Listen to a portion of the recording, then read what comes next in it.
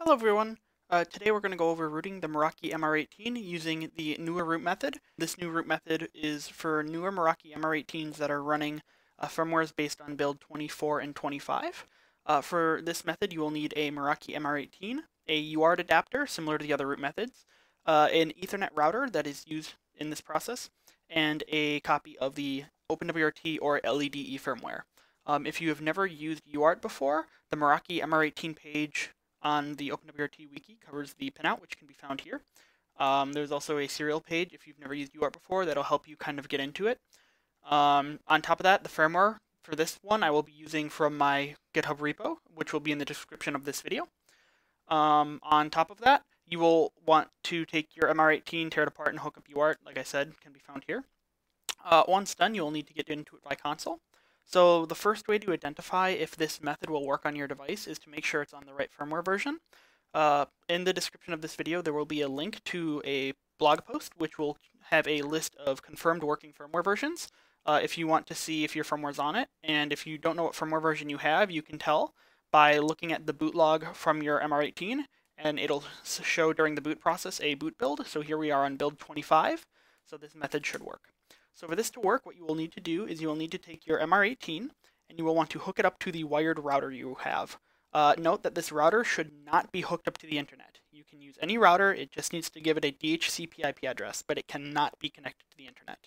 You will also want to hook up your personal computer you are using for this method to flash to the exact same router. They need to be on the same broadcast domain.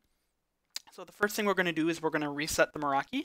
To do that, you hold down the reset button that is found next to the power port uh, you will want to hold down this button for about 10 seconds. When you start holding it, you will see the LED on the MR18 start to flash.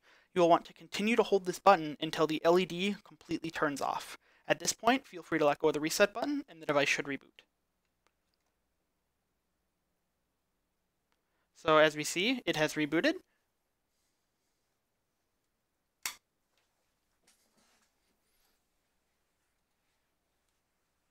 So at this point in the process, we want to get the firmware ready for us to flash. So I already have downloaded it from my repo. Uh, it can be done by going to the releases page and then just downloading the latest one here. Uh, once downloaded, you will want to extract it. So here you can see that I have downloaded it and extracted it. Um, and there will be two files, an initramfs and a squashfs. You will also want to know the IP address of your computer. So here we can see my IP is 10.27.16.230. The next step is to start a local web server where these files are hosted. Uh, since I'm using Linux, I will use Python for this. Um, the important thing is to make sure that you do this with uh, port 80.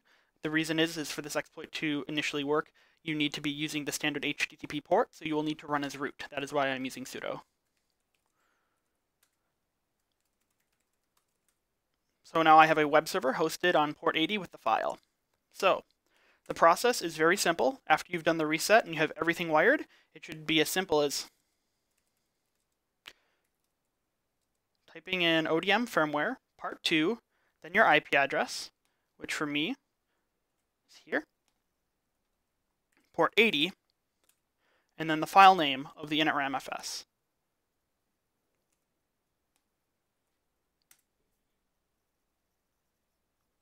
Now that this is done, we need to boot this firmware. So to do that, what you'll want to do is you'll want to hold down 2 on your console and then reboot your device.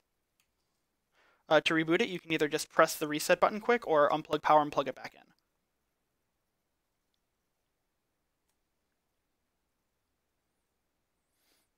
So at this point, we should then boot into an init initramfs build of OpenWRT. It is important to note that your device is not yet fully flashed what you'll want to do is you'll want to unplug the MR18's Ethernet cable from the router and then plug your computer directly into the MR18. This is because we're going to get an IP address from the MR18 and then flash it from there. So, if you go back to your computer, you can stop the web server. You can check, and you should now have an IP address from your local Meraki MR18. Uh, once you do, you can go to 192.168.1.1 to get to Lucy. And then you will want to go to Flash. From here, you will then want to select the squashfs file that was included in the downloaded file you extracted earlier. Select that and press Flash. You'll then want to press proceed. And if we watch the UART, we can watch it update and reboot.